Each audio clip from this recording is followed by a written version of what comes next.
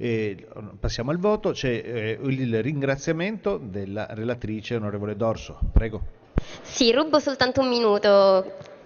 Allora, volevo ringraziare innanzitutto i colleghi, i commissari della Commissione Giustizia perché ognuno ha offerto un contributo e uno spunto di riflessione, ma volevo ringraziare anche tanti colleghi di altre commissari della Commissione Giustizia perché ognuno ha offerto un contributo e uno spunto di riflessione, ma volevo ringraziare anche tanti colleghi di altre commissioni che hanno davvero mostrato un sincero interesse e uno speciale coinvolgimento per questo provvedimento. Il governo che ha mostrato tanta sensibilità sul tema e gli uffici che davvero si sono prodigati instancabilmente nel supportar, supportarci in tutte le fasi di questo iter parlamentare. Davvero grazie a tutti.